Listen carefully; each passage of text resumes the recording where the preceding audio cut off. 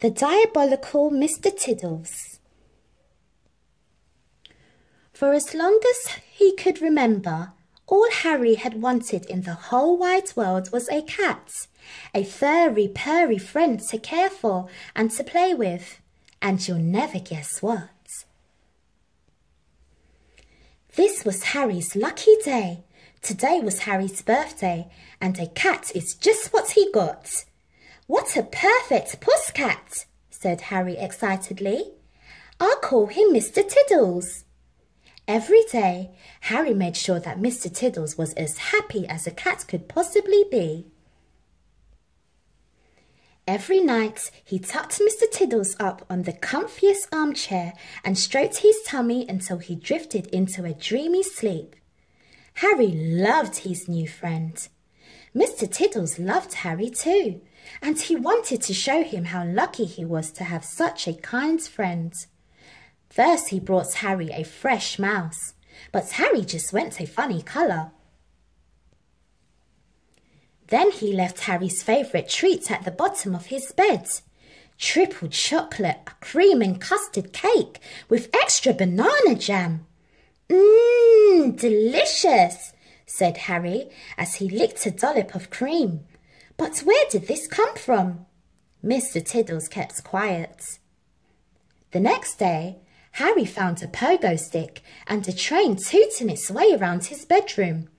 What's going on?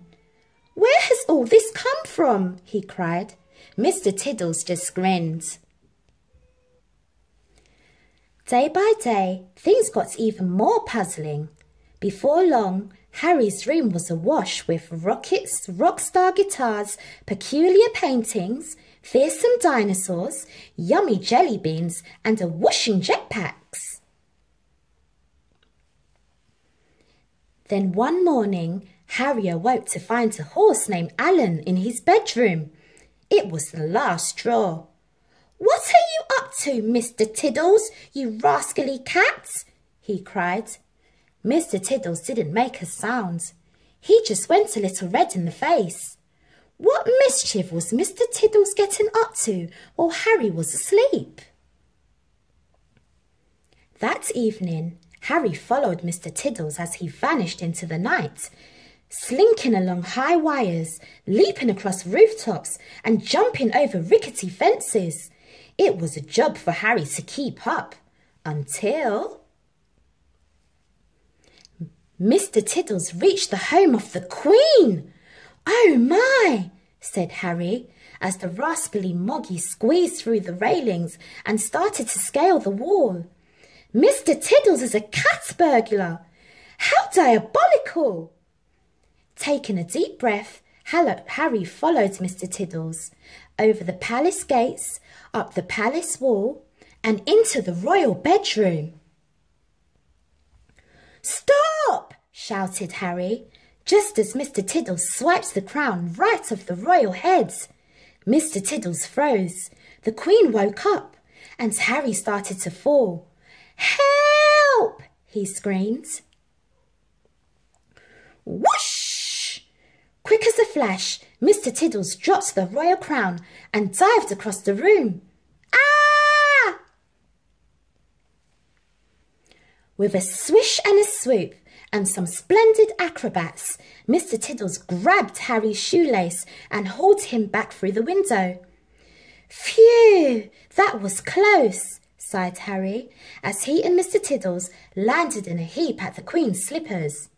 The Queen, however, was not amused. Guards, she called, arrest these two intruders for acts of cheekiness against the crown. Cried Harry. Please, your majesty, Mr. Tiddles isn't a bad cat. He's just been taking things because he cares for me so much. You mean he's stolen other things too? cried the Queen in dismay.